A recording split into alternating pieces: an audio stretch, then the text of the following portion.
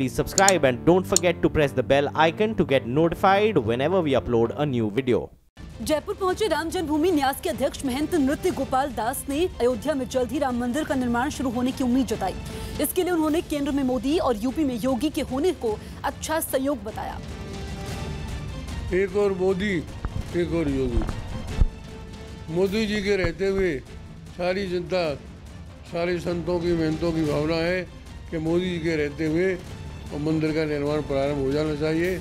हम लोग सभी आशा लगाए हुए और विश्वास है कि मोदी जी के रहने पर रहते हुए ही मंदिर निर्माण का कार्य प्रारंभ हो जाएगा। कैबिनेट ने सात जगहों पर नए आईआईएम के लिए बजट को मंजूरी दे दी। कैबिनेट ने बोध गया और जम्मू समेत सात जगहों पर नए आईआईएम के लिए 2,800 करोड़ रुपए के बजट को मंजूरी दे दी। बिहार के पश्चिमी चंपारण में वाल्मीकि टाइगर रिज़र्व क्षेत्र में पशु चराने गए एक आदमी पर बाघ ने हमला कर दिया, जिससे उसकी मौत हो गई। यूपी के मथुरा में एक साधु का शव पेड़ से लटका मिला, जिस पर पुलिस ने आत्महत्या की आशंका जताई। खबर है कि जल्द शुरू होने वाले TV reality show Bigg Boss में क्रिकेटर श्रीशांत भी हिस्सा ले सकते हैं। उत्तर कोरिया के राष्ट्रपति किम जोंग उन से मुलाकात के बाद दक्षिण कोरिया के एक प्रतिनिधिमंडल ने बताया कि दोनों देशों के बीच इसी महीने 18 सितंबर को प्योंगयांग में एक शिखर सम्मेलन होगा, यानी दोनों देशों के राष्ट्रपति इस साल तीसरी बार आपस में मुलाकात करेंगे। यूपी के इलाहाबाद में एक मंदिर के पास कुछ पुलिस वाले छानबीन करने लगे। पुलिस वालों को जानकारी मिली कि मंदिर में दर्शन करने पहुँची एक लड़की की एक लड़के ने गोली मारकर हत्या कर दी। फिर खुद को भी गोली मार ली, जिसके बाद पुलिस वाले न्यायनगर इलाके में दुर्गा मंदिर के पास वारदात वाली जगह पर पहुँचे। मामले की छानबीन में जुट गए गोली चलने की आवाज़ से वहाँ भीड़ जुट गई। पुलिस ने दोनों के शवों को बरामद कर उन्हें पोस्टमार्टम के लिए अस्पताल भेज दिया। पुलिस ने शुरुआती जाँच में इसे प्रेम प्रसंग का मामला बताया साथ ही मौके से हत्या में शामिल दो हथियार भी बरामद करने का दावा किया। लड़के ने शायद लड़की को दौड़ाया भी है। हो सकता है मामला प्रेम प्रसंग का भी हो। लड़के की अभी तक शिनाख्त नहीं हुई लेकिन शिनाख्त बहुत जल्दी हो जाएगी।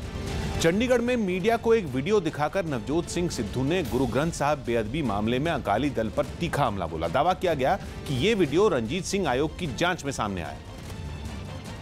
जिसके आधार पर सिद्धू ने प्रकाश सिंह बादल को कटघरे में खड़ा कर दिया। सिद्धू ने दावा किया कि दो साल पहले के गुरु ग्रंथ साहब बेअदबी मामले में लोग शांति से प्रदर्शन कर रहे थे, लेकिन पुलिस ने अचानक कार्रवाई शुरू कर दी थी। वीडियो के आधार पर सिद्धू ने दलील दी कि पुलिस ने धरना दे रहे लोगों को ज़बरदस्ती हटाने की कोशिश की थी, जिसके बाद हंगामा शुरू हुआ और फिर पुलिस ने फायरिंग की। सिद्धू ने दावा किया कि एक दूसरी जगह पर भी पुलिस ने भीड़ पर इसी तरह फायरिंग की थी जिसकी वजह से दो लोगों की मौत हो गई थी जांच आयोग की रिपोर्ट के आधार पर सिद्धू ने आरोप लगाया कि पुलिस की ये कार्रवाई तब के मुख्यमंत्री प्रकाश सिंह बादल की रजामंदी से हुई ਐਕਸ਼ਨ ਜਿਹੜਾ ਸੀ ਉਹ ਸੀਐਮ ਦੀ ਕੰਸੈਂਟ ਦੇ ਨਾਲ ਸੀ and that is how the DGP later told CM about the steps that he had taken. Sidhu ने अकाली दल और प्रकाश सिंह बादल को जांच आयोग की रिपोर्ट पर खुली बहस की भी चुनौती दी झारखंड के गिरिडीह में एक नाले के पास 33 आईटी बरामद किए गए, जिसके बाद जवानों ने फ़ौरन इसकी सूचना बम निरोधक दस्ते को दी, जिन्होंने मौके पर पहुंचकर आईडी नष्ट कर दिए। बताया गया कि नक्सलियों ने दो किलोमीटर की परिधि में 33 आईडी लगाई थी। लैंडमाइंस की बरामदगी के बाद सीआरपीएफ और गिरिडीह पुलिस ने सर्च अभियान तेज कर दिया। हालाँकि इस बीच किसी भी नक्सली की गिरफ्तारी नहीं हो पाई। पुलिस इसे बड़ी सफलता के तौर पर देख रही है। पुलिस मान रही है कि नक्सलियों ने ये आईडी जवानों को नुकसान पहुँचाने के लिए लगाया था। हालाँकि पुलिस ने नक्सलियों के प्रयास पर पानी फेर दिया। ऑन द स्पॉट साठ थर्टी आई को वहाँ पे डिफ्यूज कर दिया गया है। इस तरह से नक्सलियों की कारणा हरकत को फिर से पुलिस ने नकाब नापाक किया है उसको। सुप्रीम कोर्ट की तरफ़ से समलैंगिकता को गैर आपराधिक करार दिए जाने के बाद गायक और संगीतकार विशाल दादलानी ने अपने ट्विटर अकाउंट से एक वीडियो संदेश जारी किया। विशाल दादलानी समेत हिंदी फ़िल्म उद्योग से जुड़े कई बड़े चेहरों ने इस फैसले का स्वागत किया। जिसके लिए उन्होंने एक वीडियो का सहारा लिया, जिसके ज़रिए विशाल दादलानी ने समलैंगिकता को अपराध नहीं मानने के लिए सुप्रीम कोर्ट का शुक्रिया अदा किया। आज बहुत शुभ दिन है, बहुत पावन अवसर है क्योंकि सुप्रीम कोर्ट ने सेक्शन 377 को खारिज किया है।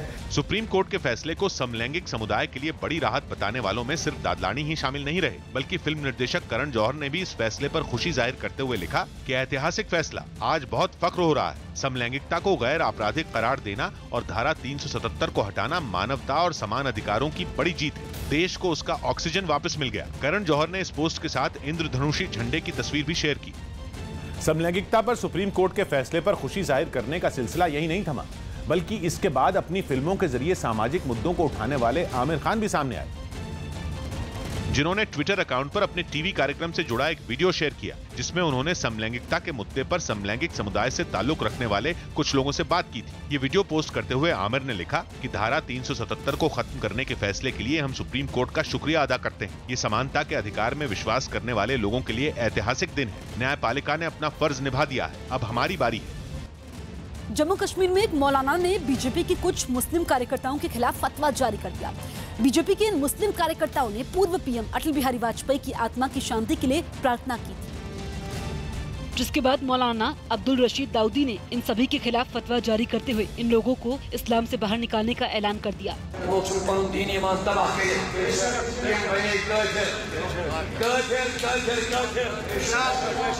लिहाजा तुम गई दायरे इस्लाम में मौलाना की फतवा जारी करने की खबर मिलते ही बीजेपी ने पलटवार करने में देर नहीं लगाई और इस फतवे को अशांति फैलाने की कोशिश बताया। चंद मौलाना पाकिस्तान से पैसे लेकर जम्मू कश्मीर के हालात खराब करने की कोशिश करेंगे और फतवा जारी करेंगे ये होने नहीं देंगे। बीजेपी नेताओं ने दावा किया कि कश्मीरी लोग पूर्व पीएम अटल बिहारी वाजपेयी का सम्मान करते हैं।